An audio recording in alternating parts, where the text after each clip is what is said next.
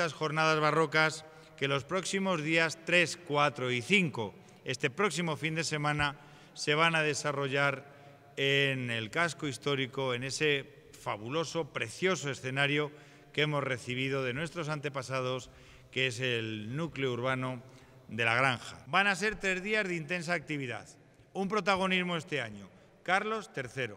Carlos III conmemorando el centenario va a ser, como no puede además de otra manera, protagonista de estas jornadas en esta efemérides. Una de las novedades que tendremos este año eh, toda, absolutamente toda la decoración que, habitualmente ponemos por las calles, eh, este año va a ser estrenada en, vuestras calles, en vuestra, en vuestra ciudad. 100, 110 eh, son aportadas por nosotros, por la empresa, por Musical Sport, y luego se permite la participación de aproximadamente 20 artesanos de la localidad que participan cada año con nosotros participan además de forma activa, no solamente con sus puestos, sino bueno, pues todo lo que conlleva de vestuario, de acondicionar sus puestos, de decorarlos y demás. Y, bueno, tenemos, tenemos también su, participación. Este año van a ser 18 exactamente, 18 locales, 18 locales